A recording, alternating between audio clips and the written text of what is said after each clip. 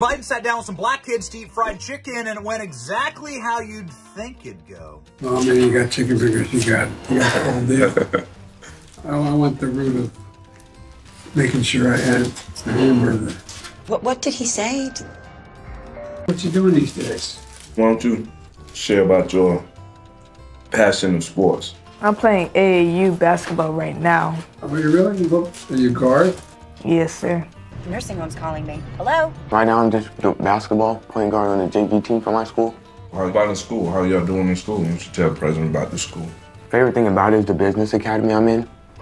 We get to like travel, so we've been to like NC State, uh, Wake Tech, and we, You're kidding me. yeah, we went to this small dry cleaning business, and it's just it's cool. It's a great experience.